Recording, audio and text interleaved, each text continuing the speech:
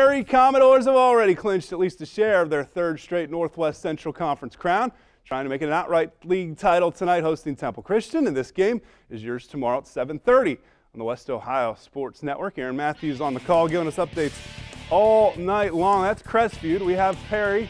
That's Crestview as well. That was Perry. And who do we have driving here? Jacoby Lane Harvey. That might be Lamonte Nichols. This is Jacoby Lane Harvey. Look at the jump stop in the lane, creating just a little bit of space. Then Orion Montfort with the steal, picking the pocket, and he's going coast to coast.